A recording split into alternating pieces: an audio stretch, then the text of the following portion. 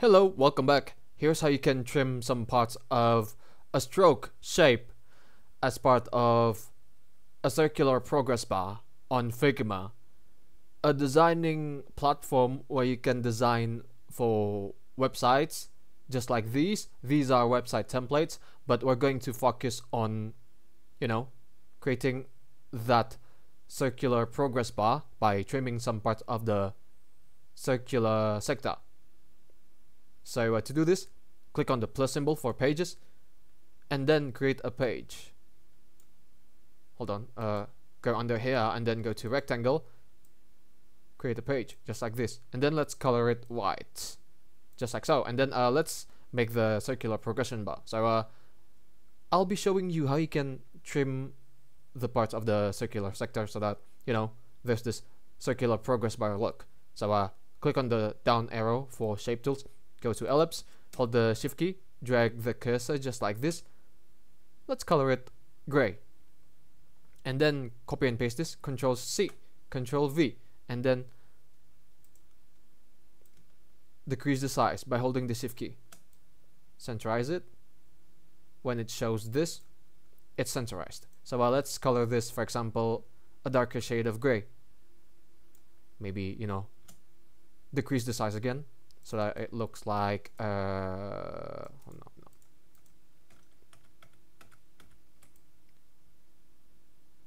this? It's still too large actually. This is enough. So uh, when you're done um, simply just uh, select the model copy and paste this and then uh, bring it here.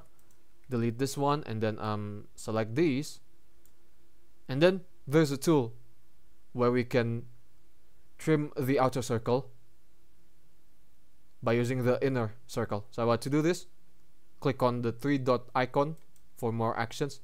And then you head over to subtract. This will, you know, subtract it so that it looks like a donut, just like so. And then, let's say if we want to make 25% of circle circular progress bar. Drag this to create an arc. It's 25% now. So uh, select these and then again click on the three dot icon, click on subtract selection and then drag it so that it, it's positioned here. And then let's color it for example green, a darker shade of green just like this. And then for this, put it to the back. Right click, send to back. All set now. Right click, to front, you're done. Creating this progress bar as a result of, you know, the trimming of the shape that we did.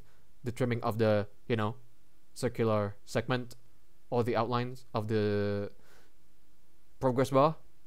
Just like so. You can even add some text. Click on the text tool and then let's say if we type in 25%. Increase the size to this for example and then click here. Use the eyedropper tool. Make it green. All done now. Really easy.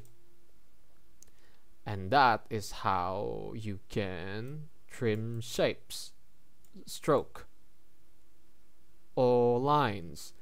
On Figma a designing platform for websites so that you can create this circular progress bar just like this one. Well, thank you for watching guys. Give it a like, give us a comment, and don't forget to subscribe to the channel if you enjoyed the video. From me, it's good day. Ciao!